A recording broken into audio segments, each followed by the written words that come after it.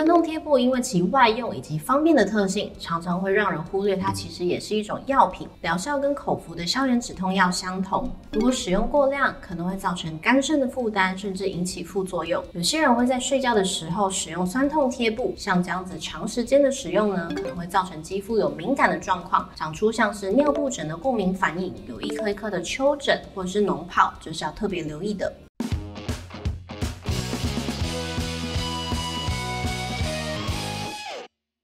正确用药保平安，常备药品求心安。大家好，我是药师陈怡安。你知道台湾人超爱用酸痛贴布吗？根据复健医学会的统计，国人平均每个月要用掉六片的贴布，每年的使用量更是高达四亿三千八百万片。贴了这么多的贴布，到底是贴对还是贴心安呢？如果过量的使用酸痛贴布，可能会造成肝肾的负担，甚至引起副作用。想不到小小的贴布还有这么大的学问，这集麦德森事务所让你从此不再浪费贴布哦。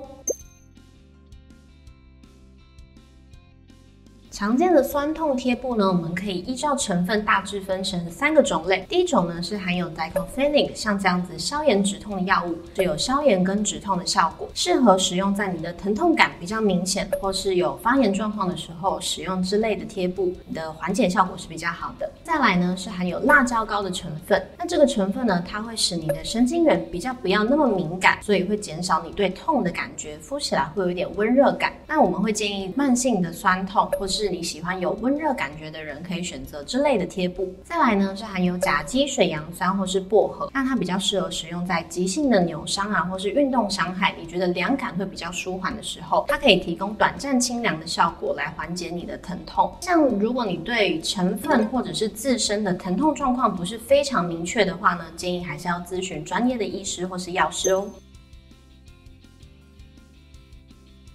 使用酸痛贴布前，应该要详阅说明书，确认合理的使用剂量。成人一天通常是两到三片，每次使用一片。使用四到六小时后，就建议要取下。有些人会在睡觉的时候使用酸痛贴布，像这样子长时间的使用呢，可能会造成肌肤有敏感的状况，长出像是尿布疹的过敏反应，有一颗一颗的丘疹或者是脓泡，这是要特别留意的。如果儿童要使用酸痛贴布的话，由于他们的肝肾功能发育还未完全，所以建议要选择成分比较单纯的贴布，并且依照体重的比例调整剂量。使用之前务必要咨询医师以及药师的建议哦。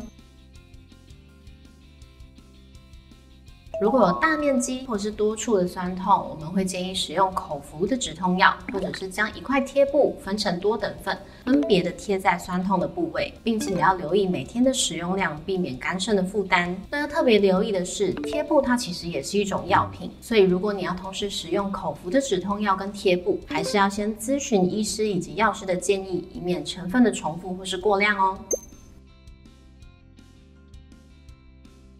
很多人把使用酸痛贴布当成一种习惯，时不时就要贴个几片求心安。要特别留意的是，如果你使用酸痛贴布超过一周，你的酸痛感仍然没有消失的话，就应该要尽速就医，寻求医师的协助。除此之外，开放性的伤口是不适合使用贴布的，以免造成伤口的感染。如果使用贴布后有过敏的情形，应该要立即停用，并且留意会让你过敏的成分。最后，食药署也曾发文提醒，应该使用印有食药署和可之药证字号的贴布，避免使用来路不明的产品，以免对健康造成危害。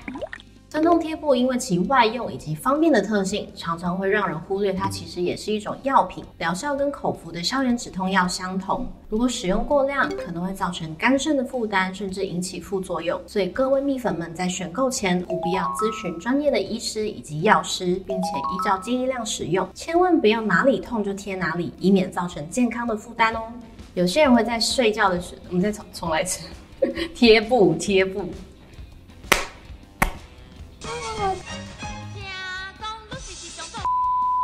喜欢我们的影片，请帮忙按个喜欢、订阅，并且开启小铃铛哦。